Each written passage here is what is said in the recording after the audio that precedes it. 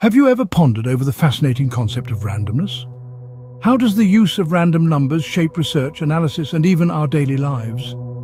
Today we delve into the intriguing world of random numbers, and more specifically the use of a table of random numbers. A table of random numbers, as the name suggests, is a set of digits arranged from 0 to 9 and listed in a completely arbitrary order.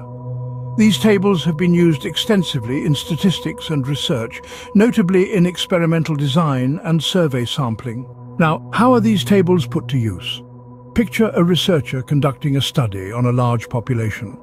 To ensure the results are unbiased and representative, they need to select a random sample from the larger pool. This is where the table of random numbers comes into play.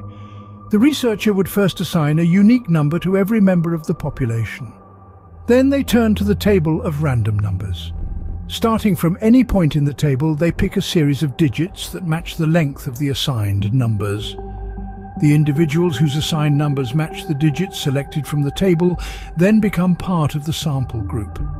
This process ensures that every member of the population has an equal chance of being selected, enhancing the fairness and objectivity of the study. But the use of these tables isn't confined to research alone. They are also instrumental in cryptography, where randomness is key to creating unbreakable codes. In computer simulations, random numbers help in mimicking real-life scenarios, as they add an element of unpredictability, much like the world we live in. To summarize, a table of random numbers is a powerful tool in the realm of research and beyond. It serves as an unbiased selector in experimental design and survey sampling, ensuring every individual in a population has an equal chance of selection.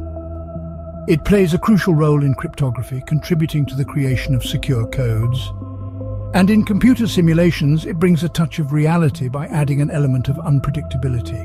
So, the next time you encounter a random number, remember it might just be a tiny part of a larger, complex system, working to ensure fairness, security, and a touch of reality in our world. The beauty of randomness is indeed profound and far-reaching.